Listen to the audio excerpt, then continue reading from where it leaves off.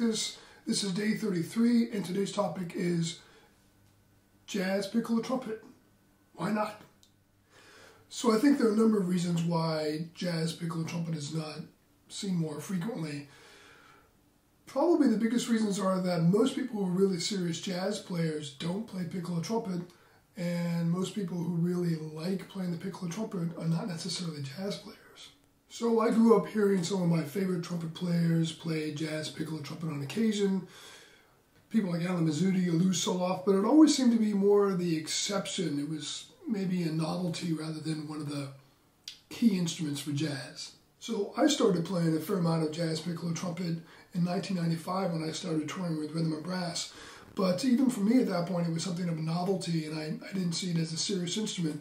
And then I heard a recording of Markus Stockhausen uh, on an ECM release playing uh, piccolo trumpet, and he sounded amazing. Markus, of course, is maybe not as well known as he should be as a wonderful jazz player as well as a great soloist. At any rate, he seemed to be treating the piccolo trumpet as a serious jazz instrument on par with the B flat trumpet and flugelhorn.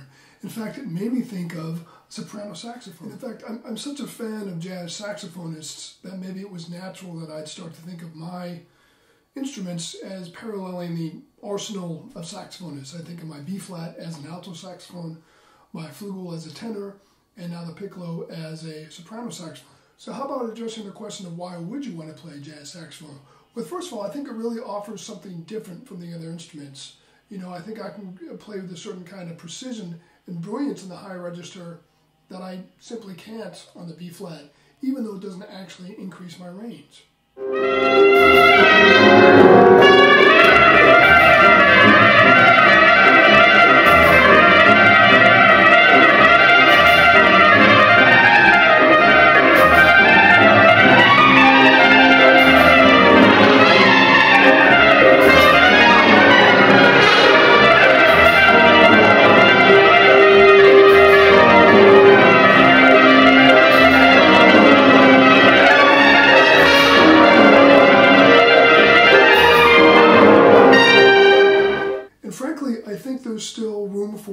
Novelty effect. I mean, a lot of people haven't even heard a piccolo trumpet or don't know what it is, let alone having heard jazz play on it. So if you do it at the right time and place, it can be quite a cool effect.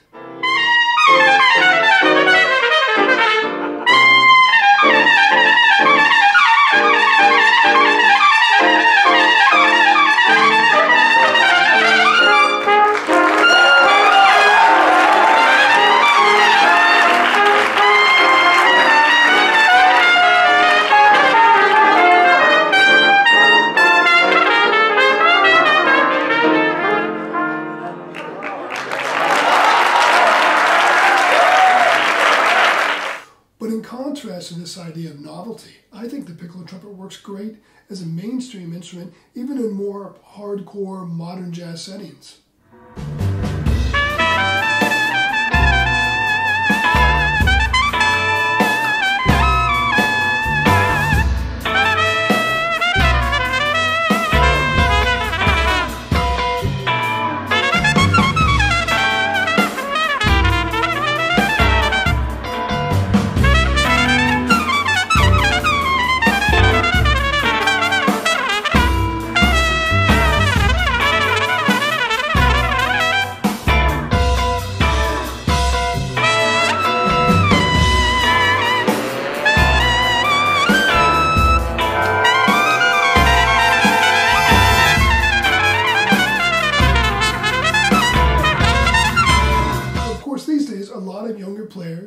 Fluent both in classical music and jazz improvisation, which means they probably play classical piccolo trumpet. So why not play some jazz too?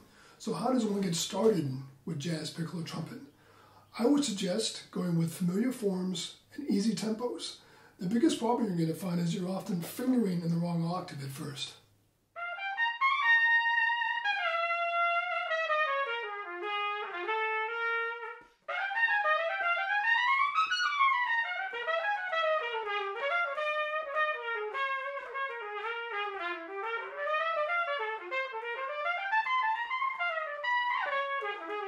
Speaking of fingerings, I think my biggest weakness as a jazz piccolo trumpet player is that I'm not using the low register enough. And that's simply because I haven't really gotten good with the fourth valve. So that's something I'm working on actively at this point. So how am I working on this problem? Well, for one thing, I'm using some of the same form fundamentals exercises that I use in the B-flat trumpet or the flugelhorn and making sure I go as low as possible, not shying away from that fourth valve at all.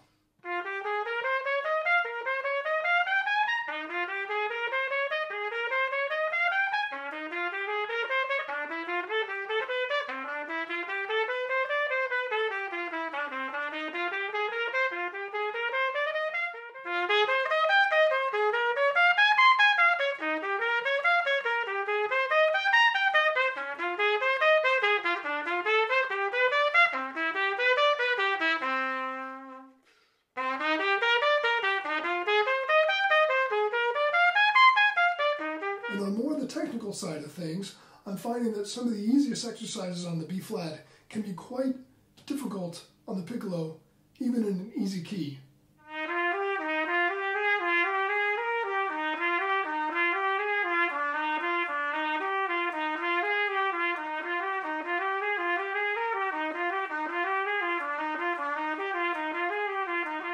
But if you think that's hard, try it on a rotary pick.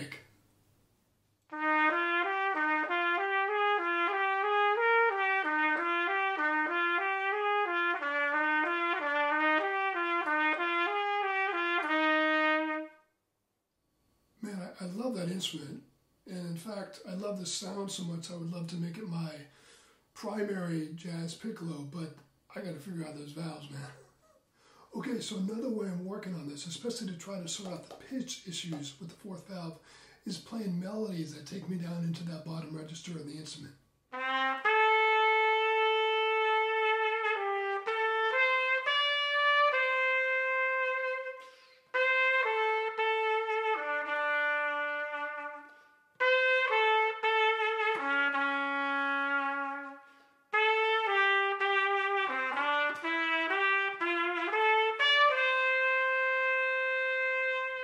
Course, when practicing improvisation, I'm forcing myself to go down into that register that is quite comfortable for me on the B flat, but normally I would avoid on the piccolo because of the fourth valve.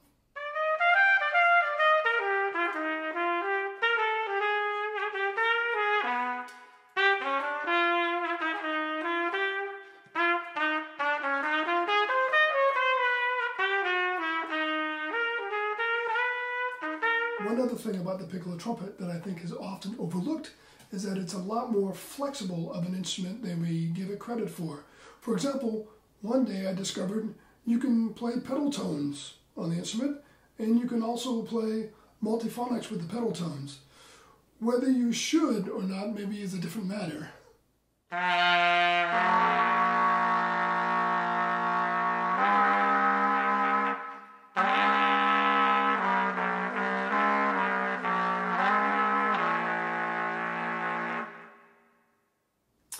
I don't know, that's probably not going to fly in any Baroque trumpet concertos, but perhaps in modern music or in a jazz setting. Um, at any rate, thank you so much for watching. I hope you've enjoyed this, and I hope you found it at least a little bit informative, and go for that jazz piccolo trumpet. Have fun.